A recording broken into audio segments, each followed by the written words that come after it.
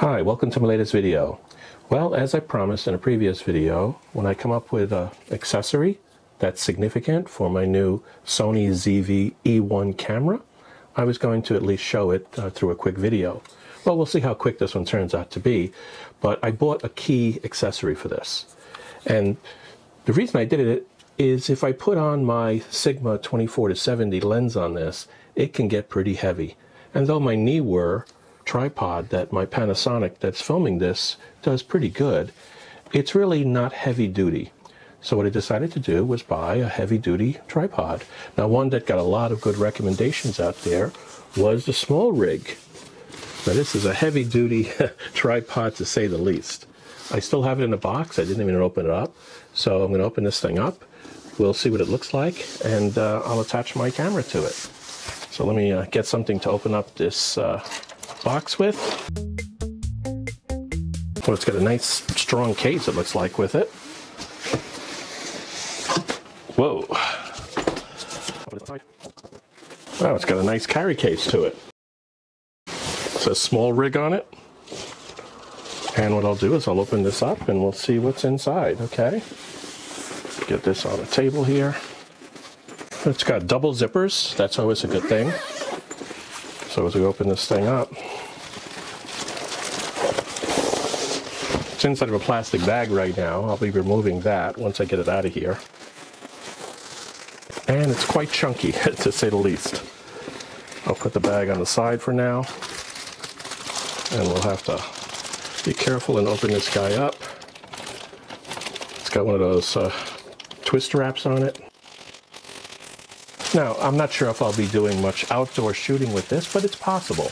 It all depends what I'm trying to cover in a particular video. It's got a nice little cover protecting the fluid head. That's part of this. Let me see. It's got a pull strap to it, so we can loosen that up and get the head protector off. Oh, it's got a nice cushioned pad in here. So that's pretty good for traveling. A really big head to it. Now, I don't see the arm, so the arm must still be in the package. Yes, it is. There's a separate uh, zipper compartment inside. And we have some accessories. Get it all out of here and we'll look at it. Okay, now I can put this aside. So we got the arm, that's what I was looking for. Nice strong aluminum arm with a nice rubber grip to it. Real rubber. Feels like it to me anyway. And it looks like it has some instructions and not sure if that's, there's some tools in here, some Allen wrenches and what looks like a clamp to clamp things together that I, I guess I'll read the instructions and see what that does. Well, let me extend it a little bit first. I understand all you have to do to extend this is throw these little levers here and it will extend. I guess I could extend it from the top first. Let me try that because there's at the top, it's got three sections to it.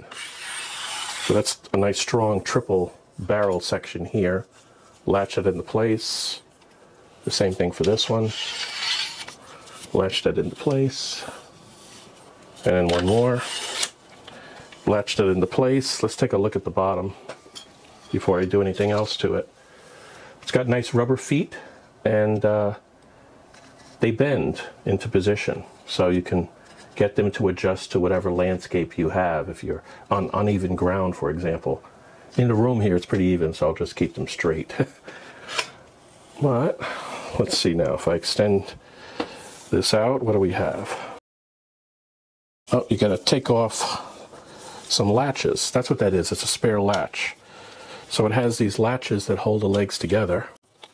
Three of them, plastic latches, that's why they give you an extra, I would guess. Oh, it's got a crossbar support. So as you extend this out, you have a nice crossbar to keep it nice and level. What I don't see here is anything for sandbags. So that's uh, that's going to be an interesting uh, thing. It's pretty hefty though. I mean, this thing has got to weigh at least altogether with the head at least six pounds. So it's not a light object. All aluminum it feels like, except for some plastic sections here, which look like they're not cheap plastic at all. This is very strong from what it, from what it shows here. Stand up here. let's see, I believe the head can remove by removing this centerpiece. There we go. Nice rubber grip here. So that's the entire head that comes off of it. It's supposed to be fairly easy to take off and put back on, but this allows you to get the, the balance. You can balance the camera onto this. That's what the main reason is for this one. So let's put this in, put it back in again. Again, there's no sandbag thing on here, although you could probably connect it to the upper part of the legs. I'll have to test that out. You can go sideways and quite a bit, probably about 20 degrees, forward, backs, left or right. Okay, it looks like this is the front here. So you would take this and it looks like it comes off this way. So we loosen this up and then we should be able to take this and push it to the side and the top comes right off. The camera support. So let me put the camera on here. It doesn't have the little flip latch, so you're going to need to use uh, either the Allen wrench or a quarter, you know, the way that most people do it. So that's one thing to consider on that. But let me just get it on here temporarily. I'm not planning on leaving it permanent. So I think that's right. Let's see. Is the orientation right? Let's see if we can get it back in again. There's an arrow on top here. I don't see one on the plate itself. So if I tip it in and throw this little latch, it should just lock in place, right? Yep, and then I would tighten it up with this little lever right here. Okay. Now I don't have it locked into the holder right now. I didn't use a quarter to do it. I could go ahead and, uh, and do that if I wanted to, but I just wanted to make sure that it fit okay. I'll go get my lens and put it on this and see how it, uh, the, the Sigma lens in a moment, and we'll see how it all fits together.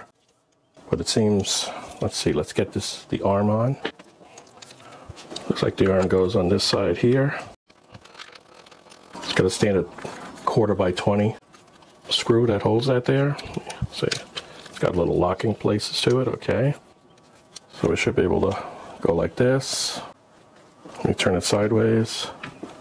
Go like this. Oh, I didn't lock this other thing in place yet. So let me lock the, uh, the center part in place. Got to undo this though in order to give it some relief. There we go, nice smooth. And then the the other, go the other direction, you have to loosen this one up. There we go. Okay, let me go get my other lens and then we'll try that and see how it looks.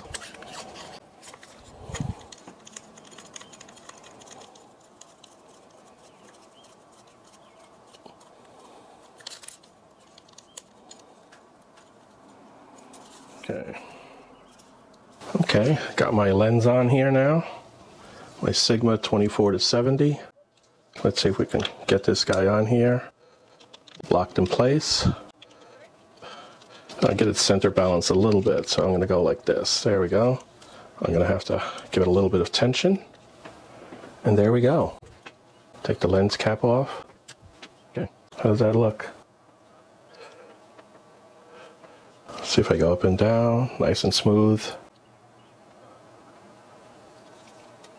Okay, this looks pretty good, huh? Okay. If I turn the camera on, what do I got?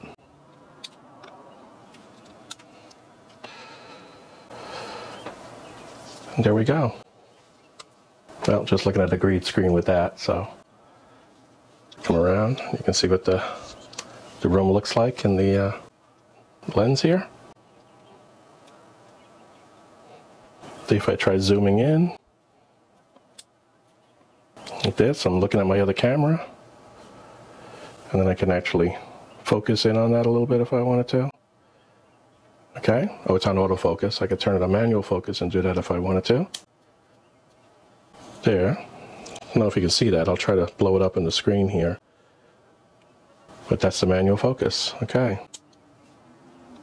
So this should be a good one. This thing actually rises much higher than I need it to ever rise up. It's pretty high right now up to the center of my chest, but I didn't even lower the lower legs yet. So if I lift this up, and uh, let me get let me get the camera off of here first. that would be a safer thing to do. Loosen that, hit that, tilt it out. And there's my camera and lens combination. So if I take this and I raise it up, I can actually drop the lower legs here. And looks like it goes quite high. I think it's like seven foot long here. If you just loosen the clamps on the bottom, they sort of just drop out of place right down to the floor. So if I just take this and I just drop it, they drop right out. And there we go. This has got to be, let me see, um, I'm 5'11", so that brings me up to here. So I'd say it's about 6'4", 6'5", total height to the bottom of the camera. So even higher with the camera in place. So this is my new tripod. I'm never going to use it at this height, I don't think. It's unlikely that I'll have a use case for that. But I do like the fact that I can have that option.